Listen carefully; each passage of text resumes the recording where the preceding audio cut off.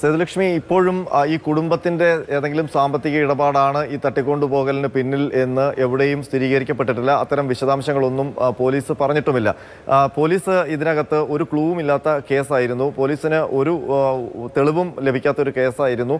അതുകൊണ്ട് തന്നെ ഇതിന്റെ വിവിധ വശങ്ങളിലേക്ക് പോലീസ് അന്വേഷണം വ്യാപിപ്പിച്ചു. അതിന്റെ ഭാഗമായിട്ടാണ് ഇപ്പോൾ കഴിഞ്ഞ ദിവസം നമ്മൾ ഒ ഇ ടി പരീക്ഷാ തട്ടിപ്പുമായി ബന്ധപ്പെട്ട കാര്യങ്ങൾ.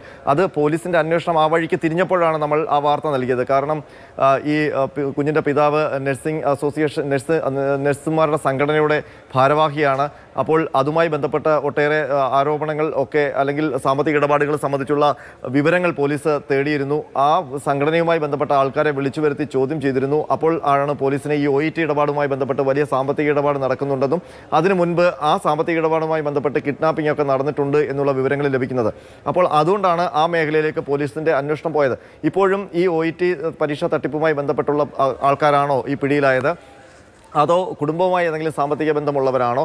അതല്ല മറ്റെന്തെങ്കിലും ഉദ്ദേശത്തോടെയാണോ ഈ ഇവർ ഈ കുഞ്ഞിനെ തട്ടിക്കൊണ്ടുപോയത് എന്ന കാര്യത്തിൽ വ്യക്തതയില്ല. ഇനി അവരെ ചോദ്യം ചെയ്താൽ മാത്രമേ അതിലൊരു വ്യക്തത വരികയുള്ളൂ. പക്ഷേ ഒരു കാര്യം ഇതിനകത്ത് ശ്രദ്ധിക്കപ്പെടേണ്ട ഒരു ഒരു കാര്യമുണ്ട്. അതായത് ഇപ്പോൾ പിടിക്കപ്പെട്ടിരിക്കുന്ന പ്രതികളുടെ ഒരു അവരുടെ സ്വഭാവം അല്ലെങ്കിൽ അവരുടെ പശ്ചാത്തലം ചാത്തന്നൂർ കേന്ദ്രീകരിച്ചാണ്. ഇവൾ ഇവർ ചാത്തന്നൂർ സ്വദേശികളാണ് എന്നുള്ള പ്രാഥമിക വിവരമാണ് പോലീസിൽ നിന്ന് വരുന്നത്.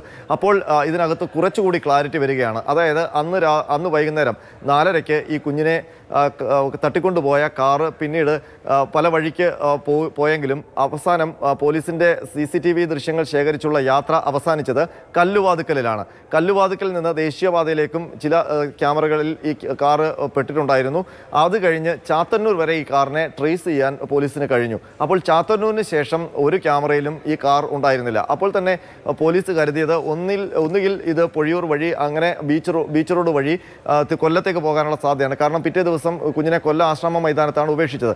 അതല്ലെങ്കിൽ ദേശീയപാതയിലൂടെ നേരിട്ട് കൊല്ലം ഭാഗത്ത് എവിടെങ്കിലും വന്ന് ആശ്രമ മൈതാനത്തിനോ കൊല്ലം നഗരത്തിനോ സമീപത്തുള്ള ഒരു സ്ഥലത്ത് താവളം ഉറപ്പിച്ചു എന്നാണ് പോലീസ് ഇതുവരെ അല്ലെങ്കിൽ കുറേ അതിന്റെ ആ സമയത്തൊക്കെ കരുതിയിരുന്നത്. പക്ഷേ ഇപ്പോൾ നമുക്ക് മനസ്സിലാക്കാൻ അല്ലെങ്കിൽ ഇപ്പോൾ ഈ പ്രതികൾ എവിടുത്തുകാരാണ് എന്നുള്ള വിവരം പുറത്തു വരുമ്പോൾ നമുക്കൊരു കാര്യം ഉറപ്പിക്കാം. ഈ പ്രതികൾ അന്ന് കുഞ്ഞിനെയും തട്ടിയെടുത്ത ആ കാർ നേരെ പോയത് ചാത്തന്നൂരിലേക്കായിരിക്കണം. ചാത്തന്നൂരിൽ ഈ പ്രതികളുടെ തന്നെ വീട്ടിൽ ആ കുഞ്ഞിനെ ഒളിപ്പിച്ചിരിക്കാനുള്ള സാധ്യതയാണ് ഇപ്പോൾ കാണുന്നത്. ഏതായാലും അല്പസമയത്തിനകം അതിന്റെ വിവരങ്ങൾ അറിയാൻ കഴിയും. പക്ഷേ നമുക്കിപ്പോൾ ഈ ലഭിച്ച വിവരങ്ങൾ ക്രോഡീകരിക്കുമ്പോൾ നമുക്ക് ഊഹിക്കാൻ കഴിയുന്നത് അങ്ങനെയാണ്. ചാത്തന്നൂരിലെത്തി ഈ കാറും കുഞ്ഞിനെയും ഈ സംഘവും അങ്ങ് ഒളിച്ചു. അതുകൊണ്ട് തന്നെ ഇവർക്ക് ഒരു സ്ത്രീയും പുരുഷനും പിന്നീട്